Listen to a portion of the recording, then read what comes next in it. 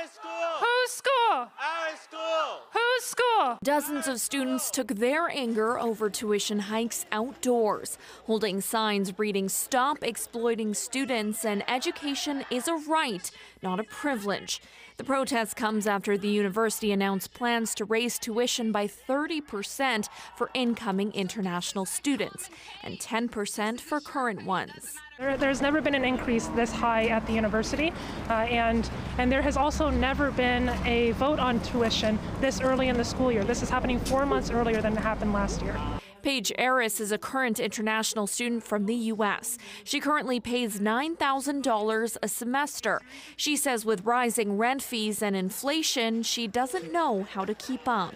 It just feels like everything bubbling more to the top, almost as if uh, we're all in a pressure cooker and it's just like slowly building and building before all the steam releases. In a statement, the university argues the increase is required to continue providing quality education, and the hike is needed to balance the budget as required by law.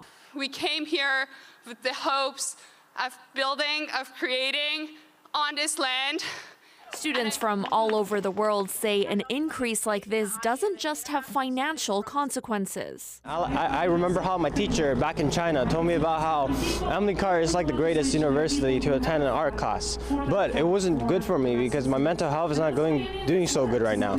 It really hurts you because you think you're not really like you you don't see the value of you being here at a point anymore. You you just feel used essentially. Emily Carr administration was aware of the planned walkout. It says it respects the rights of students to voice their concerns by taking action and the challenges higher tuition payments will create for some.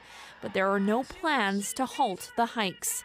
Yasmin Gandham, CBC News, Vancouver.